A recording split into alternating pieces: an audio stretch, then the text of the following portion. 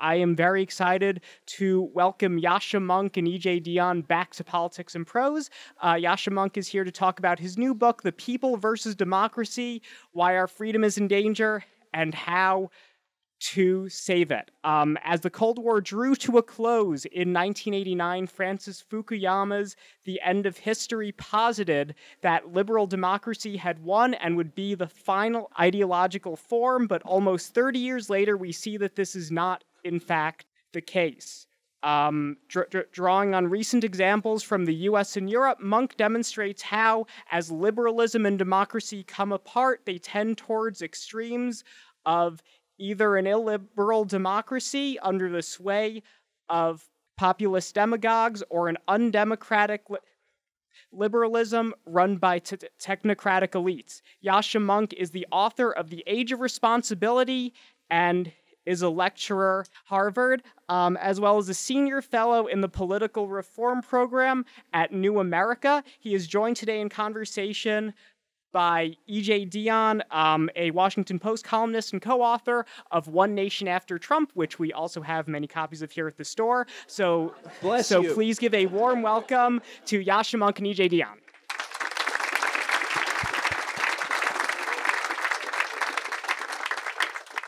Thank you, Isaac. I asked him to plug our book so I wouldn't have to. So that was very uh, kind of him. Thanks, thank you all for coming, and uh, thanks to a lot of old friends I see here uh, today. Uh, I just want to say Politics and Prose arranges some of the very best conversations on the crisis facing democracy uh, and on public problems generally. And I think if we could locate a politics and prose, and prose in every community in the United States and across the democracies, we wouldn't have, Ayasha wouldn't have had to write this uh, book. Uh, I'm also really happy to be here because, like many of you, I have become a Yascha fan uh, over the last several years. I admire his sharp mind and warm heart, and both of them are important. Uh, and he comes at his concern for liberal democracy and his commitment to a greater degree of social justice from both personal experience and deep and serious philosophical reflection. That earlier book of his is really good too, if they have it around here uh, today. He'll sign them both, I am sure, if you care to buy one. Um, I just, what I want to do, uh, what we're going to do today is have a conversation up here. He and I have been talking about this book for a while. Indeed, he was kind enough to visit with my students up at Harvard, where I taught last semester, and gave them an advanced look at some of the chapters of the book. And we had a wonderful conversation there. And he and I have had friendly discussions, including a couple of arguments that I'm going to surface here, friend, very friendly arguments. Uh, one over populism, uh, and the other over the role of young people uh, in the future. And so we're going to talk about that. Um, but first, I want Yascha to have a chance to introduce the book. I am going to read, um, every author should have a paragraph like this in the book that very neatly summarizes the core argument, in this case of the first half, of what the problems are. So I'm going to read this, and then I'm going to ask Yascha to tell you a bit about himself, because, as I say, his commitment on these issues comes from his own background. He became an American citizen last year, correct? We should welcome Yascha with a round of applause. Thank you. We are very lucky to have him. Um, and I want him to talk about sort of his background a bit and how he came to write this book. Then we will get to uh, uh, some of the issues. But first, my uh, dramatic reading.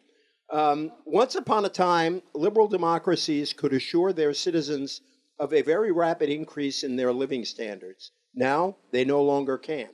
Once upon a time, political elites controlled the most important means of communication and could effectively exclude radical views from the public sphere.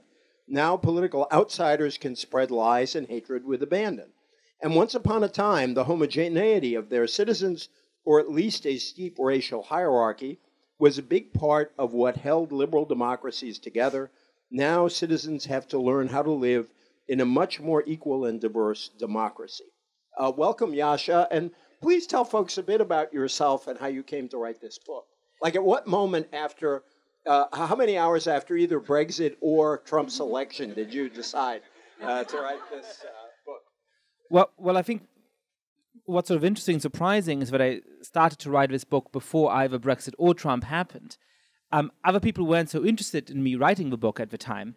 um, because they kind of thought I was a little bit of a weird crank. Um, when I started to, to, to argue three, four years ago uh, that there's real warning signs for our democracies, not just in the United States, but in big parts of Europe as well, uh, people always accuse me of being a Cassandra. Um, and I wanted to respond, but I didn't because I realized they would just give, you know, dig me even deeper into the hole. Cassandra was right, damn it. That's the whole point of Cassandra. Um, that's his next book. That's my Cassandra was right, damn it! Exclamation mark. Um, that um, you know, I mean, why is it that I was sort of more alive to those dangers than than some other people? I think a mix of a personal story and some academic interest of mine. I mean, so you know, personally, uh, my my family has had the bad habit of being in the wrong place at the wrong time for these three generations.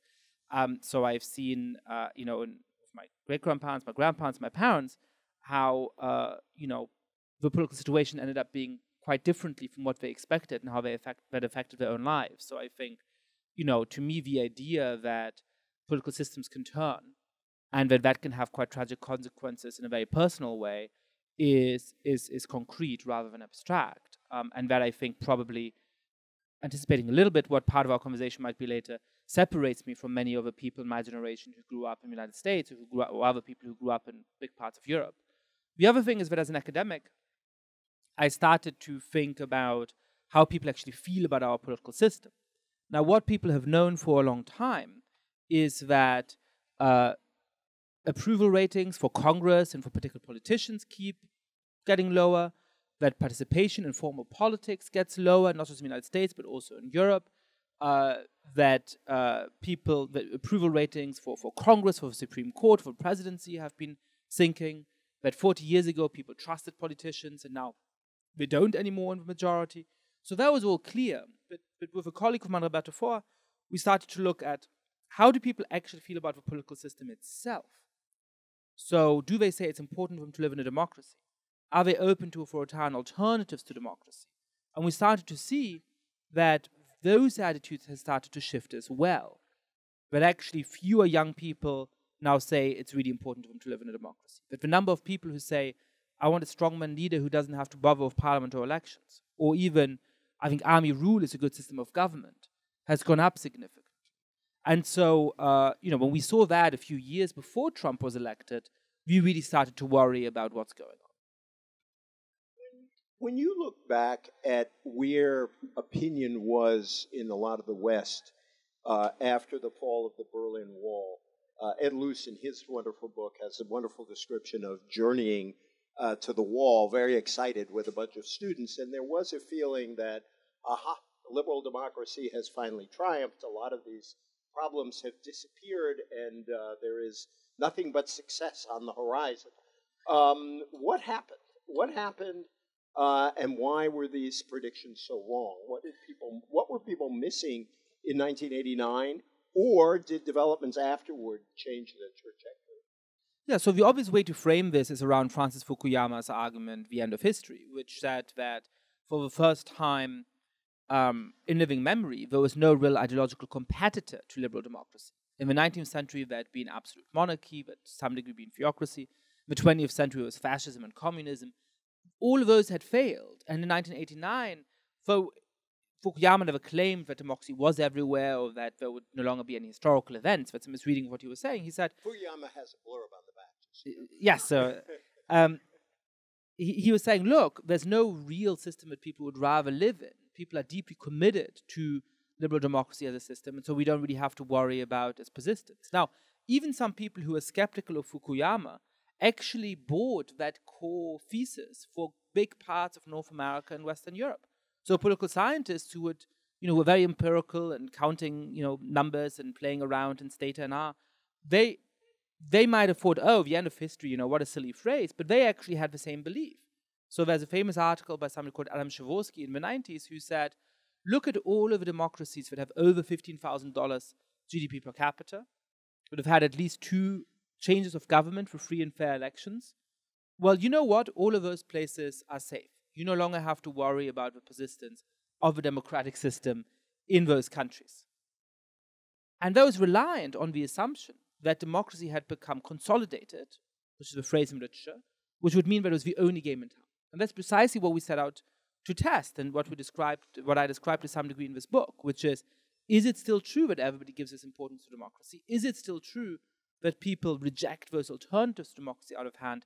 And most importantly, are there any politicians and political movements that uh, that actually have real power in the system and reject the most basic rules and norms of liberal democracy? And there it's been obvious for a long time that's no longer the case. That populists had been rising not just here and there in American primaries, where they sort of shot up for a little moment and then crashed again. Uh, think of all of the extreme candidates that briefly led the pack in Republican uh, primary fields, not just in 2016, but in 2012 and 2008, and so on and so forth. But you also saw a very steady rise of populism in Europe for a long time. In a paper with somebody who's here today, Martin Eiermann, we show that uh, the share of populist parties in Europe has increased from about 8% in the year 2000 to 25% uh, more recently. And so uh, the whole world on which we based the conviction that we don't have to worry about democracy anymore after 1989 went far beyond Fukuyama. And I think it's now been challenged in ways that go far beyond Donald Trump. A few weeks back, Rob Riemen was here to talk about his book, To Fight Against the Age. He thinks it's actually important that we call this uh, new right wing nationalism by its name, and he believes that name is fascism. Uh, do you agree with that, um, or, or, or not? And how do you analyze what is the nature of this ideology? I, I, disagree with Rob on this, and and there's a number of reasons for that. I mean, the first is that um, it's really easy to think of the collapse of democracy as requiring something like what happened in Germany in the 1930s, right? So we're only going to lose democracy if lots of people give a Hitler salute, you know, buy really big, ugly black boots, um, and run through the center of town with torches, right? And some of that happens, some of that exists. And when you look at Charlottesville, there's obviously people who quite openly um, are fascists in, in, in our country today. But you know what? Despite all of the horribleness of what happened in Charlottesville, if that was the only danger we faced, I wouldn't be too concerned. I wouldn't be writing this book. What you see, though, in countries from Russia to um, to Turkey, in countries today like Poland and Hungary, is that there's many other ways in which democracy can come under real attack, and those are much more subtle. It's not people who say, uh, "I'm a fascist. I want to get rid of democracy." It's people who say, "You know what? You've been disempowered people have taken the real power away from you, and I'm the only real Democrat. I alone actually represent the people. I am your voice, as Donald Trump said in the Republican National Convention. So give me your vote so that I can return power to the people. And that, I think, is the real danger to, to democracy at the moment. So calling it fascist is makes us lazy because we think, well, there's nobody in, in black boots and torches in the street, so why should we worry? And I think it, it, it, it makes it more difficult for us to understand the specific nature of populism. Now, here we have a disagreement. Um, as perhaps some of you saw, saw EJ's excellent column in Washington Post um, about a week ago, um, in which he basically says there's good forms of populism. Now, you know, the word populism is a little confusing, um, and and you know there are some people who have historically been called populists, who are sometimes called populists now, who I think can contribute a certain corrective to the system. But the way that I describe populism in this book and the way that I can make sense of it, um, I don't think that there is such a good thing as good populism. And the reason is the following What is a populist at heart? It's not somebody who says, there's certain things wrong with our politicians, and some of them are corrupt, and some of them are self serving, and it's really important that we win in order to make improvements for you. That's a normal part of politics. That was Barack Obama as much as anybody else, right? Talking about a rigged system and so on. There's nothing dangerous about that.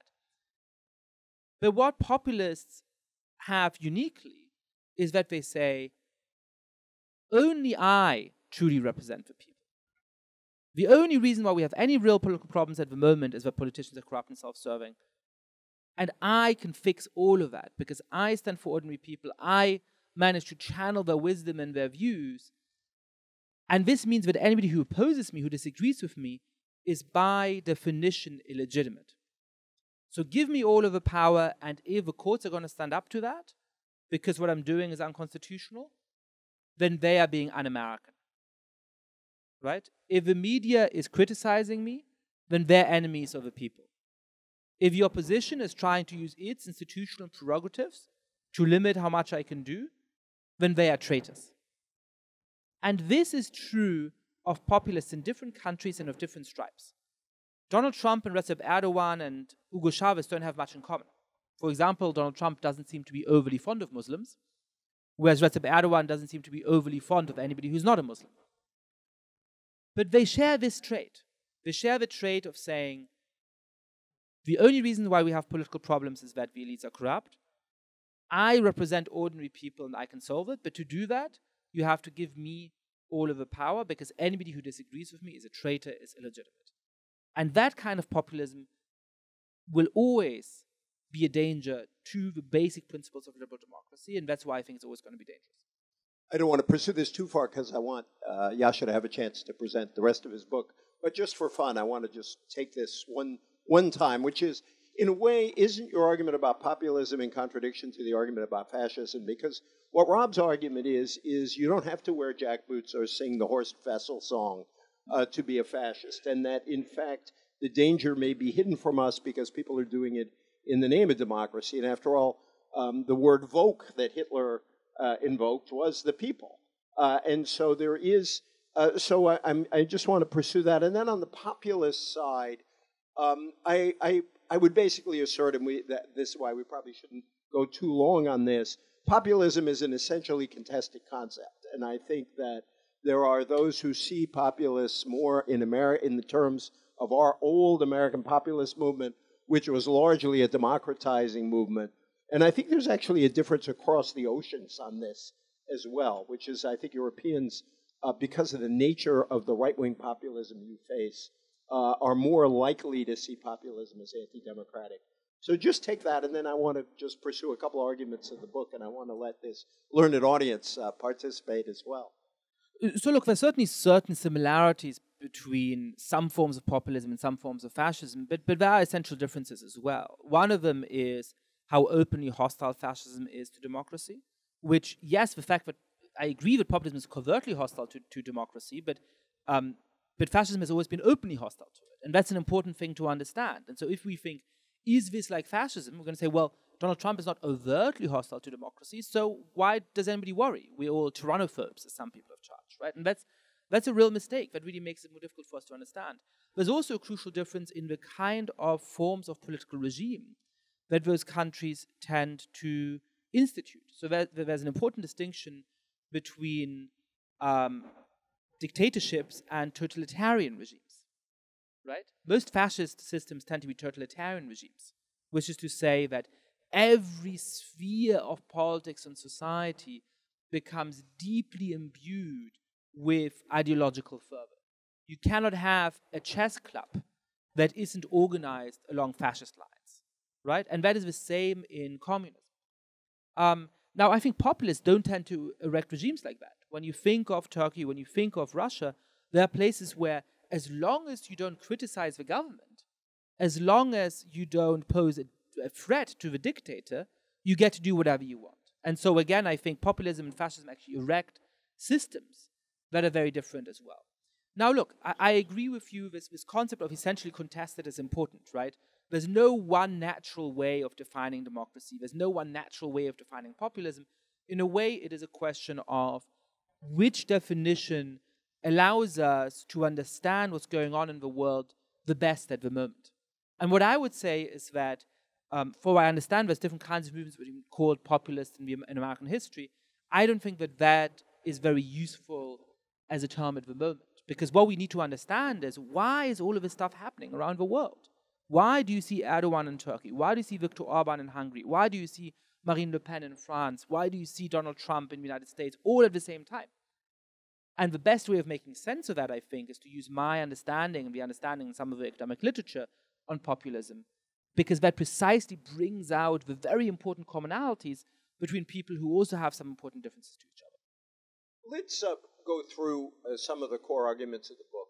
Um, you talk, uh, and, and let's sort of start with um, economics versus immigration. And we've talked about this before. One of the hardest things, I think, to sort through is whether this surge was caused by a globalized economy, economic uh, distress, the decline of upward mobility, particularly here in the U.S., um, or whether the driving force, uh, even more than economics, uh, was a fear of widespread immigration, a backlash against widespread immigration. On the side of the immigration, uh, the primacy of immigration um, would be the idea that some of these movements have shown up in places like the Netherlands, which have fairly well distributed economic growth um, uh, relative to uh, other countries.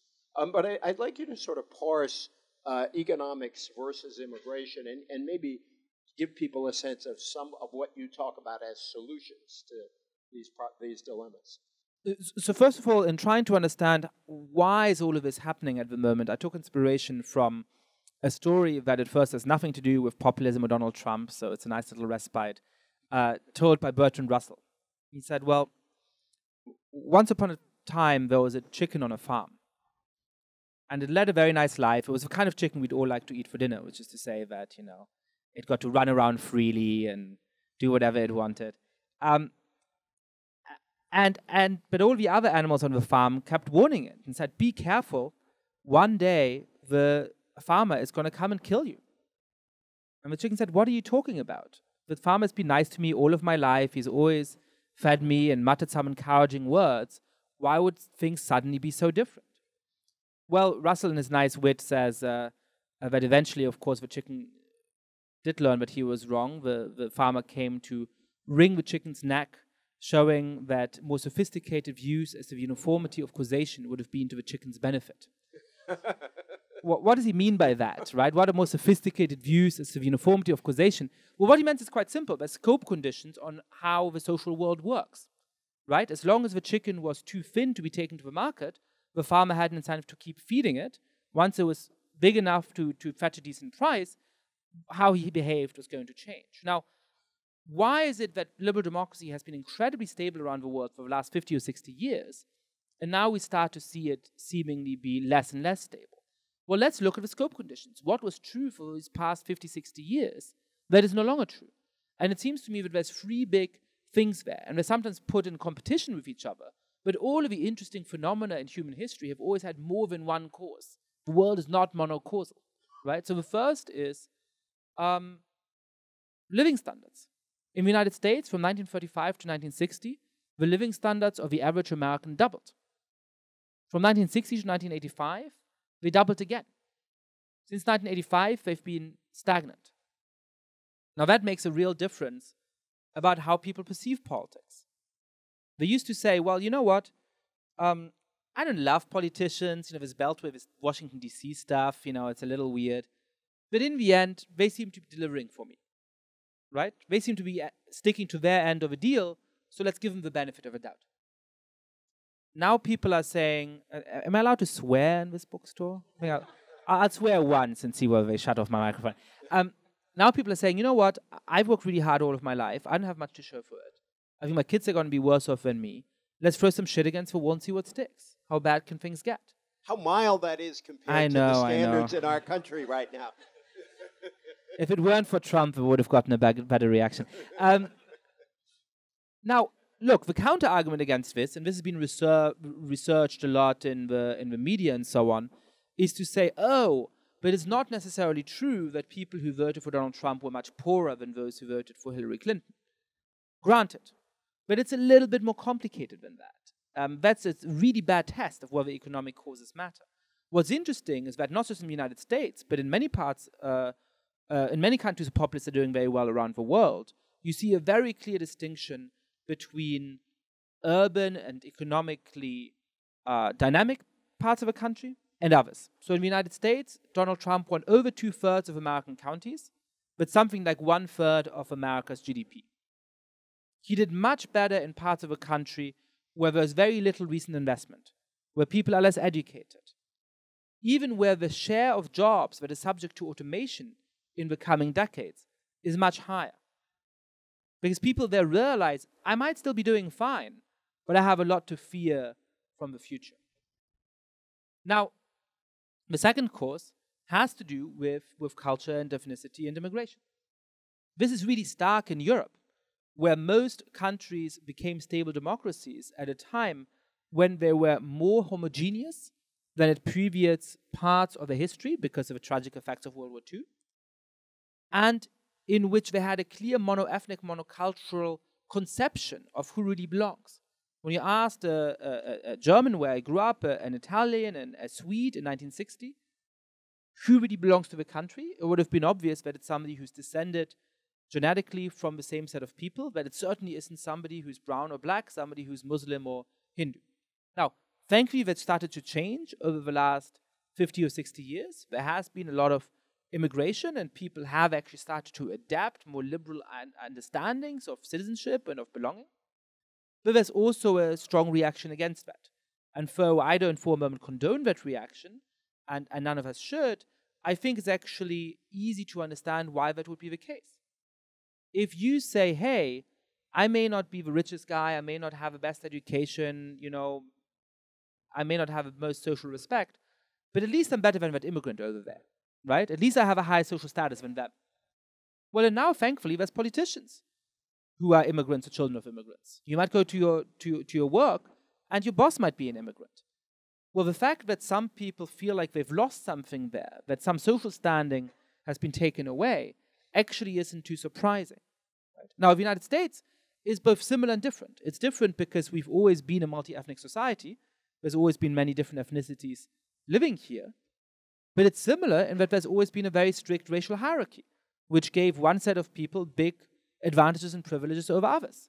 Now, again, I think we would do well to remember that we've actually come a very long way in overcoming that. Despite the obvious ongoing injustices in our country, it is a much better place for minorities to live than 20 or 40 or 60 years ago. And a lot of people have started to embrace the idea of an equal multi ethnic society. But again, there's a lot of people who have something to lose from that and who are rebelling against that. Again, I don't condone that, but it shouldn't surprise us that that is going on. All right, so if you have the anger and the basic distrust of our politics because people are feeling like, my life's not getting any better, I'm afraid of the future economically. If that often takes a cultural form of a backlash against immigration, a backlash against racial equality, when you add as a third ingredient social media, which makes it so much easier for people to challenge a media consensus, to challenge the gatekeepers who used to say what can be a part of our political discourse and what can't. Now, in some ways, that's a good thing. It's a good thing in dictatorships because the democratic opposition now has a much easier time um, telling a, a telling the population the truth about uh, corruption, about repression, and so on. It can be a good thing in our country as well if you think about the, the, the immense platform that the students at Parkland High in Florida immediately gained after the horrible mass shooting there, and their ability to make the voices heard and engage uh, engage the public in a, in a push for, for change on, on gun control. But at the same time, it also obviously makes it easier for hateful voices, for people who want to spread fake news, sitting here next to Comet Pizza. That's an obvious thing to think about. Um, and for people who want to organize radical political movements to actually have a big voice in our politics. So to me, it's these three causes coming together that help to explain not just the rise of Donald Trump, but the rise of similar authoritarian populists in so many different parts of the world. How do people who want to defend liberal democracy not end up looking to lots of others like they are simply defending an establishment and a status quo. And I thought about this a lot during the, um, uh, say, German elections, where I'm, you know, my politics are social democratic, but I kind of found myself wanting Merkel to do reasonably well. I didn't want her to fall, and in a sense, there could be nothing more status quo than rooting for Merkel uh, in Germany and that I think that there's a, a real danger here that um, that that those of us who want to push back against the dangers of democracy uh, end up looking like protectors of the establishment and the ruling class. How do you respond to that? What's your sort of strategy and approach on that? So uh, I absolutely agree. This is this is crucial. Um, so the 2016 election, in my mind, in the United States, was a contest between a moderate politics of a status quo and an extremist politics of change. Well, it turns out that when those are the rules of engagement, the extremist politics of change can win. Not necessarily because most Americans are extremists, but because they really want some promise of a country that changes, that actually delivers more for them.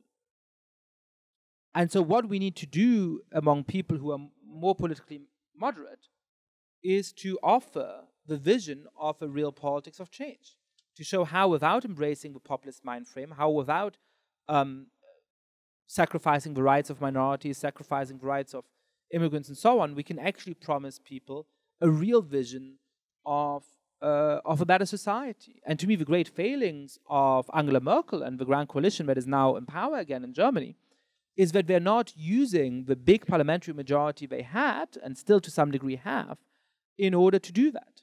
That they aren't actually saying, hey, we are in favor of globalization and free trade and all of those good things, but we are really going to fight to make sure that rich individuals actually pay their tax in, in Germany or the United States, that corporations actually pay a fair amount of tax in these countries, that we make it much easier for productivity to grow in our countries, because that's one of the main drivers of middle class incomes, by investing a ton more money in education digital technology. That we are uh, actually making sure that people don't have to keep spending more and more money on the most essential goods from housing to education to healthcare. Now, in all of these countries, these are huge problems.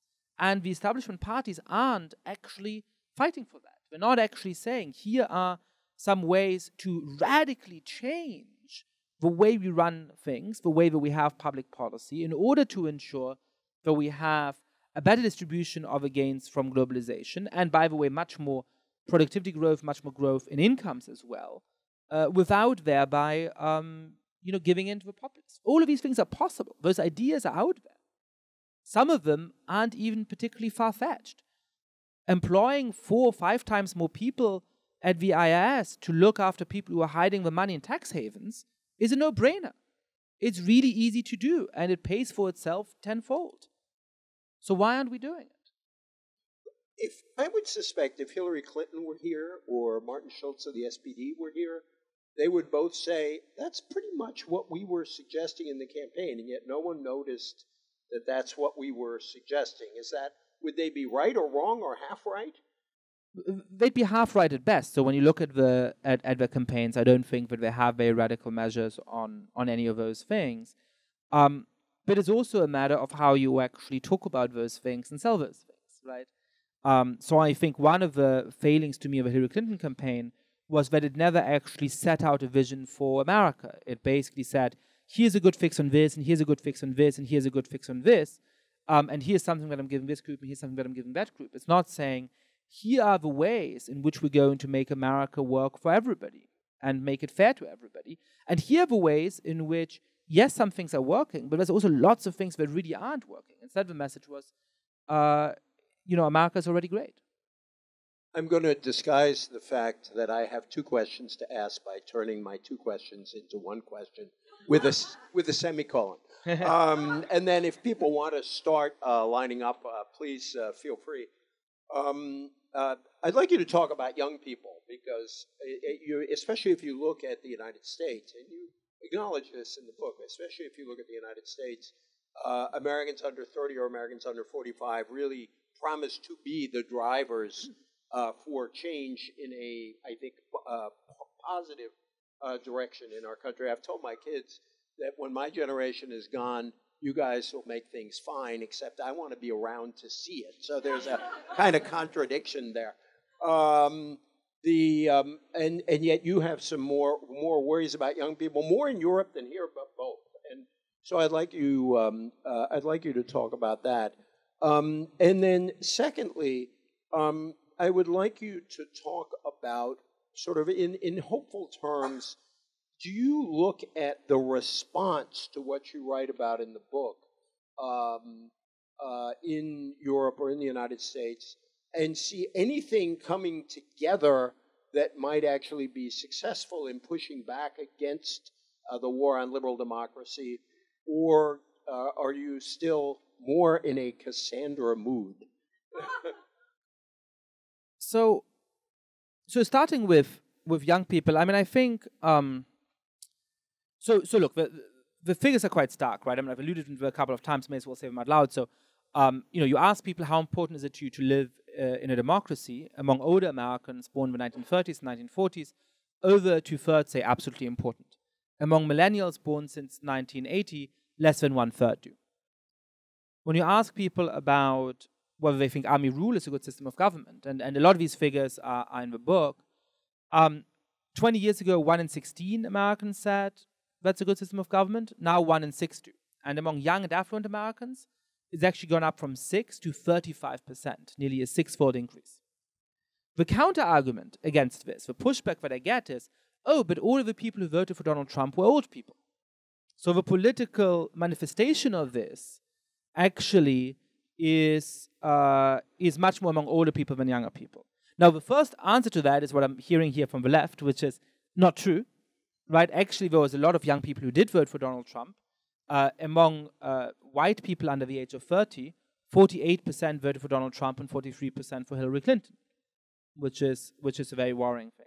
The second thing I would say is that Donald Trump didn't really try to appeal to young people, right? I mean, he's himself a very, you know, an old guy, um, and that's just not what his campaign was was designed to do. Now, you could easily get forms of authoritarian populism, whether on the right, where there's clearly a, a quite vibrant young alt-right scene and so on, uh, or for that matter on, on, on the left, that does try to tap into the deep systemic discontent with democracy that you see among a lot of young people. And the third point is well, go and look at Europe, and you see that young people are some of the strongest supporters of populist movements on both the left and the right. In the French presidential elections, in the first round, over 50% of young people, over 50% of young people, voted for either Marine Le Pen, the far right populist, or Jean Luc Mélenchon, the far left populist. In Italy, you see that not only did nearly two thirds of the overall Italian electorate go for either Silvio Berlusconi or the far right League or the uh, uh, the Five Star Movement, which has strong connections to Russia and is run by people who believe that 9 11 was an inside job. But the only demographic am- among which there was less the case was the oldest people. Among young people, something like 80% voted for those parties. So, so absolutely, this threat is among young people as well as older people. Now, to a second question of, of how well are we standing up against this? I think there's roughly three scenarios for what's going to happen in the next years in the United States. The first is that Donald Trump does such a terrible job and ends up being repudiated so broadly, um, loses so disastrously in the midterms, you know, wins one and a half states in 2020, um, that there's a real moment of coming together and a real recognition of how dangerous it is for people to to flout the most basic rules of our political system. And not just a recognition that this particular guy failed, but that similar kinds of movements are all dangerous. Now, I think that's possible, but I, I'm not holding my breath for it. The second scenario is the inverse. It is that, like uh, Erdogan has done in Turkey, like Orban is succeeding in doing in Hungary, like it looks like the Polish government may be succeeding in doing in Poland, um, Donald Trump actually manages to expand his base, to deliver for some of his core constituency, to um, undermine independent institutions like the Department of Justice and, and the FBI, um, to corrupt the process of elections more and more, and that he essentially becomes a form of dictator over the course of the next six or eight years. Now, again, I think that's possible but in part because Donald Trump has actually been very incompetent at following the playbook of other authoritarian leaders around the world. In part because he hasn't been very good at delivering for his base. In part because he's not very strategic in his attacks on institutions, but it's always obvious that it's naked self interest. Um, in part because even his rhetoric always seems to be a little bit more about himself and about setting up that essential contra- contrast between himself and the people and so on. I, am hopeful that that's not going to happen and in part because there's a great resistance movement of Americans actually heeding and taking seriously those people who were once called Cassandras um, and going out to, to, to resist Donald Trump in all kinds of concrete ways. My big fear now, and I talk about this in the book, is the third scenario, what I would call the Roman scenario, by which I had in mind the late Roman Republic, but uh, given the elections a week ago, I guess I may also be talking about Rome today, which is that you have a populist figure uh, like the Gracchi in Rome, or like Silvio Berlusconi in Italy, for that matter, that exploits deep discontent with the political system and comes to the political stage, creates a huge constitutional crisis, and after a bunch of years is thrown out of the system again. Tiberius Gracchus was, was killed. Silvio Berlusconi ended up uh, resigning in disgrace in 2011. But because the underlying reasons for this discontent aren't being tackled, because we're not doing a good enough job of making sure that ordinary people actually get an improvement of their living standards, because we're not creating an inclusive patriotism that emphasizes what unites us across racial and religious lines rather than what, what divides us, um, you, you have this similar kind of energy coming back. Six years later, like now in Italy, uh, ten years later, as happened with, with uh, Tiberius younger brother. And so over a course of perhaps 20, perhaps 40, perhaps 60 years, you slowly get such an erosion of the political system that you wind up in dictatorship. That to me is the biggest fear. But this is not a matter of dealing with it in 2020, of dealing with it in 2018. It's something that we're going to be fighting, not just for the rest of your lifetime, EJ, but for the rest of the, the lifetime of a few young Don't people in this crowd in. as well. I'm glad you mentioned the inclusive patriotism because it's uh, one of the things actually our books share in common. And Ayasha wrote a very good piece in the New York Times about a week ago, but that doesn't mean you can look it up on Google and not buy the book. You know? uh, Jeremy, can you introduce yourselves when you ask your question, if you don't mind? Is the mic working? Yes. Okay.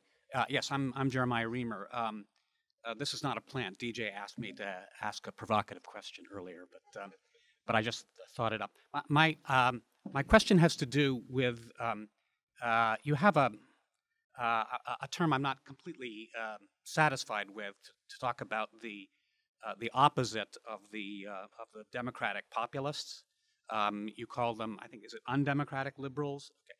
And um, I guess my question goes to whether uh, they're really undemocratic or incapable of making a democratic connection. Because I actually think a lot of these people want to be democratic, but they're unable to make a kind of a connection to electoral politics and to the kind of successful model uh, where they, um, where uh, sort of their expertise, uh, their professional knowledge was consulted and valued, and then Big Tent party political leaders were able to use that. Um, but I think they want to be democratic. Um, you know, there's a tendency to view uh, technocrats as just bad, but I think there are good technocrats and bad technocrats. I think Mario Draghi is kind of a good technocrat, along with Janet Yellen and Ben Bernanke. They did some good things. So my question um, i- to you is, uh, and by the way, um, this is related to another uh, observation I made about the Trump um, reaction to Trump. Among the most aggrieved people about the Trump election are people uh, who are professional civil servants who feel they have professional expertise. It's not just the fact that they're cosmopolitan hipsters living in bicoastal cities. They also feel their professional knowledge useful for government is being completely ignored. How can those people, how do you think the, the good technocrats, so to speak, if you agree with my, my term, uh, can, can remake a connection? Uh, I mean, obviously, yeah, w- yeah. So, yeah, go ahead. so, I so, love so, the idea, by the way, of a GS14 being a bicoastal hipster. They would probably enjoy that. But go ahead. Um, so I think the, the, the short answer is that the term is undemocratic liberal rather than anti-democratic liberal. So, so in that sense, I agree. But just, just, just, just to explain that term a little bit to people who haven't read the book. So, one of the arguments I make is that you know we need to think of our political system as having these two elements: liberal democracy. Now, liberal has nothing to do with liberal and conservative. It's not you know Barack Obama versus George W. Bush. It is a, a, a, a commitment to individual rights, to um, to the rights of minorities, to the rule of law, to the separation of powers. And democracy, in my mind, then becomes actually translating popular views into public policies. Unless we're actually managing to make sure that our political system is responsive to what people want, it doesn't seem to me very democratic. Now, what I think is happening in the world is two things. On the one side, for a long time, we've had a system of rights without terribly much democracy, of undemocratic liberalism, which is to say, a system in which, yes, we do a reasonably good job at protecting individual rights and minority rights and uh, the separation of powers, but we're not doing a great job of ensuring that we're actually translating what people think into policy. And that's the case because of a huge role of money in politics, because of a revolving door between lobbyists and legislators. Uh, yes, because of a certain uh, uh, elite class that doesn't have much circulation with ordinary people, but also because a lot of bureaucratic and technocratic institutions that do do a great job take lots of issues out of democratic contestation. So that lots of decisions are made by the Supreme Court, by an independent central bank, um, by international organizations, are precluded from politics through, through trade treaties. And you take all of those things together, and it's not surprising when lots of people say, nobody's really listening to me, right? Now, we need to understand that to understand part of a populist instinct, which is the inverse. It's not rights without democracy, it's democracy without rights. It's saying we are going to speak for a majority and actually put forward all of the politically incorrect ideas that people actually like. Now, often, unfortunately, those ideas really are popular.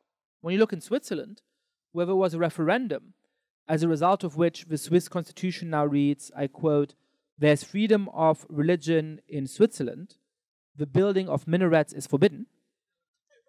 Doesn't make much sense. That shows that actually a majority of Swiss people did want to restrict the rights of a Muslim minority there. Now, the problem with that is that eventually a liberal democracy, rights, democracy without rights, degenerates into straightforward dictatorship. Because once you've taken away separation of powers, once you have put your own people in the courts, in the electoral commission, as has happened in Hungary, in the media, the opposition no longer has a real chance of getting rid of a government. So, um, you know, between those two evils, I think I know which one I would pick. Um, but in order to deal with the underlying drivers of this populist anger, we need to find ways to make our political system more responsive to what people want. And even though a lot of technocratic institutions do a great job, I think we need to recognize that they have problematic aspects to them. Thank you.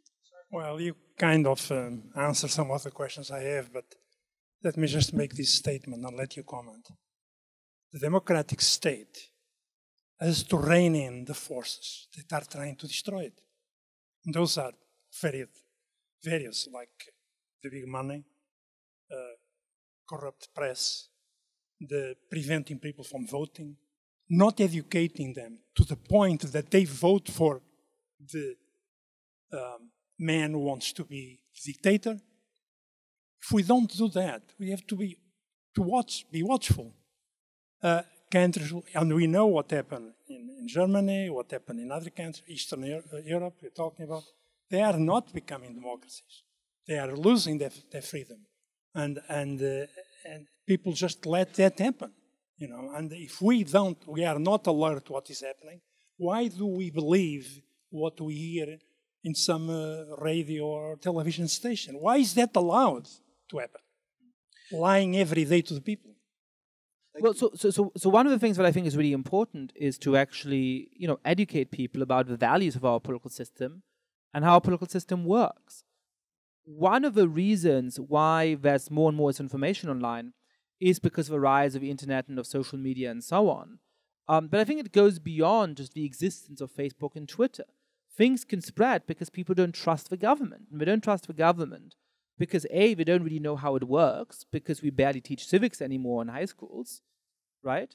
And B, because even insofar as we do know how it works, they only see the negative things in our political system. Now, this is something that I say um, back at Harvard where I teach, and my faculty colleagues aren't too pleased with me for it, which is that we need to actually tell people what's good about our political system as well.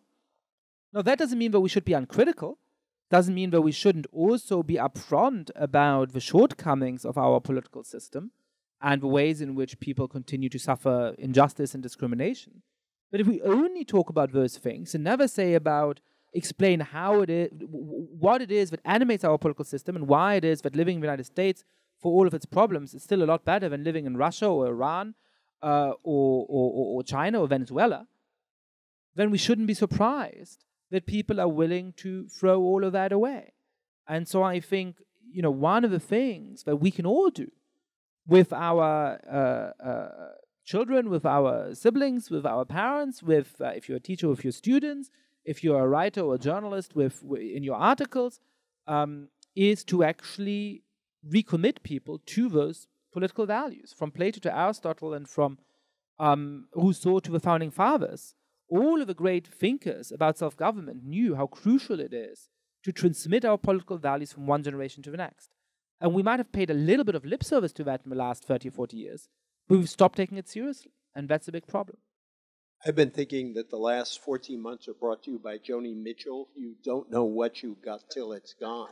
And could I bring in, uh, could the folks at the store tell me when we should shut down? I could be up here all day talking to Yascha. Um, Actually, uh, we'll take two more questions and then. oh, is that all we have? Yeah, sorry. No. Um, oh. I'm sorry. Um, actually, can I amend that? If people are brief, let me just take four questions fast, all at once, and then Yascha can give a very compact answers because he wants to sell books. So four quick. Thank you. Um, my name is Don Greenhouse from the Chautauqua Institution in Chautauqua, New York, where EJ has lectured a number of times. And we place. invite you all to come and hear some discussions just like this. Very quickly, I can't remember her name, an author, recent uh, book called Strangers in Their Own Land. Uh, Arlie Hochschild. Um, and she uses a metaphor, so I'd like you to think about it in terms of micro rather than macro sense of these. We're all lined up back from the pot of gold, and we're all standing quietly in line, and our liberal democracy keeps bringing people into the line in front of us, the blacks, the gays, etc., etc. And this is causing this angst and populism. I wonder if you might comment. Hang on, hold that thought. Thank you, sir. Stuart Schultz, I'll, I'll try to make this really quick and condense it, but uh, you've identified populism, you know, this lack of agency, this uh, lack of, of uh, economic opportunity, threat to cultural identity as the major threats of liberal democracy. And I can't speak to the international situation, but at least domestically, Trump ran on all those things. But his actual administration has nothing to do with any of that message. It has to do with advancing corporate interests. And it seems to me that the, the real threat to liberal democracy is not in these issues, which are real, but in the forces that use those issues to advance agendas that are more dangerous to liberal democracy. I mean, what's the role in capital in all of this? So it's clear that um, Donald Trump is a symptom of broader underlying causes. Um, as he undermines institutions, are we doing a good enough job to deal with the underlying causes, or are we just saying he's undermined this institution, therefore Donald Trump is bad? That'd be an excellent thing to close on. Lastly, sorry for the rest. Yeah, uh, my is Avery James. I'm a sophomore at American University. Um, quick question. You mentioned how we need, and you actually had an op ed in the New York Times on this as well, this new nationalism, this new patriotism. I would just ask, how's that in any way unique from what Marco Rubio wanted in 2013? How's that in any way unique from what Jeb Bush, who was bankrolled by the Republican Party, basically Mitt Romney, but he's fluent in Spanish this time? I mean, how is that any different from what the people who had the power to make decisions in the Republican Party wanted? And ended up with what we have. I mean, that, how is it non-unique, right? Like, that's the question I really have: is how does that change the current trend? Thanks. All right. Um, I, I, might need some some reminders, but but I'll try and get through these four questions quickly, and then say something inspiring at the end. There we go. That's my task. Um, so uh, uh, yeah. So You're so stuck. I'm going to read the last four sentences of the book. So. Please. That's. Uh, so, so, so, so, so the cutting in line metaphor, I think, is quite powerful, and and and and that, that that's how a lot of people think about it, right? That that they've um, that they're frustrated, they're not getting what they want. They want, they've been promised a pot of gold, they're still standing in line for it, and now why are other people doing well? Like, for me, that precisely explains the lunacy of pretending that cultural factors and economic factors are is either one or the other. This is the way in which it's connected that if people feel like I'm getting a fair shake and I, I'm a lot wealthier than my parents were and my kids are going to do better than me, and you know what, that guy over there is doing fine too, good for him. You know, he's not like me, he's an immigrant or he's whatever, right? But, but I'm doing fine, nice that he's doing fine too. When people start to feel, you know what, um, I've been taken advantage of all my life and politicians aren't delivering for me and my community is falling apart in all kinds of ways and there's an opioid epidemic and, and our incomes are stagnating and the good union jobs are gone. And now, why is that guy over there doing fine? It's easy to scapegoat and blame, right? And so, one of the ways of dealing with that is to make sure that we actually deliver on the American dream for people in the way that, that, that, that, that we promised.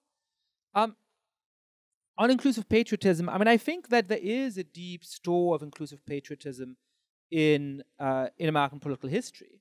Um, I think often people didn't necessarily act on that. So, uh, you know, in the end, though, I agree that some moderate Republicans had perfectly decent rhetoric around it. Uh, most of them weren't willing to actually vote in those ways and, and, and, and ensure that we take those issues off the table through some kind of comprehensive deal where we come to a decision about that.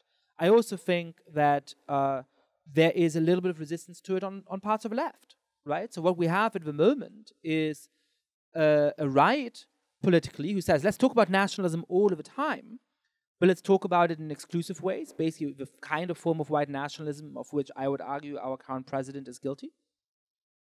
But then on the left, I think there's an instinct that I know quite well because I grew up with it, which is to say, hey, nationalism can be so destructive, and it was so destructive in the 20th century. Why don't we actually move beyond it?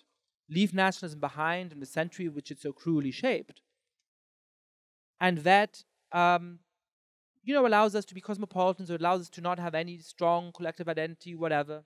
That's one kind of approach. The other approach is to say we're going to celebrate every form of collective identity at the subnational level every religious group every ethnic group every sexual group and so on but we're not going to celebrate the nation because the nation is bad and has this very bad history and the other things are under attack. Now i agree that we need to defend every group from attack and discrimination that is ongoing. But I also think that the nation can actually be a great store of solidarity. That can be precisely the thing that allows you to see why you should care about somebody who doesn't have the same skill, doesn't have skin color, doesn't have the same religion, and so on. And that emphasizing that in an inclusive manner is a way to build social solidarity and fight discrimination rather than a way to advance it. So, to me, nationalism is a half domesticated animal and instead of leaving it on its own to be stoked and prodded by the worst kind of people, I think that we need to domesticate it. One nice way of doing that in a political speech, and I have many disagreements with him on other things, uh, is what Emmanuel Macron said in Marseille on the campaign trail. He said, when looking at this audience, I see people from Mali and the Ivory Coast and, and Algeria and Italy and Poland. But what do I see? I see the people of Marseille. What do I see? I see the people of France. Look here, ladies and gentlemen of the Front National, the far right party of Marine Le Pen. This is what it looks like to be proud to be French. That to me is a nationalism that actually makes sense. And, and I think parts of the right could fight for it more strongly, and I think parts of the left could also fight for it more strongly. There's two questions that I'm missing here. I think there was one on corporations. And, and one on. Oh? So, um, Okay, so the question about corporation look, I mean, I think that um, liberal democracy works when democracy and capitalism are in balance. I don't think the answer is to abolish capitalism because there is no democratic country that has ever existed on the face of the earth without capitalism. And while I get right wing critiques of globalization, because the standard of living of uh, steel workers in Michigan really hasn't improved that much over the last 30 years. I mean, it's because of our political choices rather than because of globalization, but at least I get it. I don't really understand certain forms of left wing critique of globalization. Because if you actually say that you care about the well being of poor people in the world, and you look at the fact that 2 billion people have been lifted out of dire poverty in India and China over the course of the last 20 or 30 years, people who didn't have electricity, who didn't have food to eat, who didn't have an education, who now ha- lead middle class lives, I think we need to recognize what awesome positively power it has. But we need to also make sure that we actually use those fruits in order to deliver for ordinary people. Now, some countries have done much better than this than other countries, and it's not because they're more or less capitalist. It's because they've pursued policies that are actually directed to helping ordinary people. And that's in part because money had much less of a hold on their politics than it does in our country. So this is not rocket science. It's solvable. But we need to fight to solve it. It's going to be hard to solve it. All right. I'm going to end with, uh, uh, you know, I, am sometimes told that uh, when I talk or you know when people read my articles, that it can be a little depressing. So, so thanks for coming out to, to get depressed on a on a Sunday afternoon with, with lovely sunny weather. But but I actually genuinely think, uh, and I think your book, uh, One Nation Under Trump, brings that out really beautifully as well, EJ, that this is a moment to be inspired, um, despite all the ugliness in our politics. When I grew up politically, when I came of age politically, came of age politically, it seemed like what we would do wouldn't matter that much. Because yes, there's some policies that were better and some policies that were worse. There was some ongoing discrimination and injustice. But in the end, we sort of knew what the world was going to look like 30 or 35 years from now, right? Now we don't know that. And it's up to how we act to ensure how that's going to look. So, yes, that's scary. And yes, it's easy to get depressed by that, but it's also easy to get inspired by that because it means that we can actually act. Um, the best picture image for this, in my mind, comes from Amos Oz, who says there's a huge fire burning. And each of us only has a little glass of water in the hand. And, and it can seem hopeless. If I go to the water and I dump my little glass of water on it, on the fire, that's not going to change anything. The fire is far too big. Well, but thanks for coming out, everybody. There's a lot of people in this room. And if each of us takes our glass of water and dumps it on the fire, then together we might just be able to extinguish it. Now, the way to do that is to fight for real change in our system, not just to defeat Donald Trump. It's to actually make sure that our political system delivers for ordinary people again. It's to make sure that people see what's valuable in our political system again. And if you agree with some of my descriptions and diagnoses today, you'll have an idea of what you can go and do at home. If you disagree, then you'll have your own ideas. But but the important thing is that unlike people in Turkey, unlike people in Russia, unlike people in Venezuela, we still have a freedom to go and fight and organize and mobilize politically and argue. And so I think it's our duty to do that. And the Yascha for Congress PAC will be collecting signatures up here. Um, I, I want to read just the last words of the book because they fit so well with what Yascha said. He said, Nobody can promise us a happy end, but those of us who truly care about our values and our institutions are determined to fight for our convictions without regard for the consequences. Though the fruits of our labor may remain uncertain, we will do what we can to save liberal democracy. Thank you all for coming out, and Yascha will sign the books.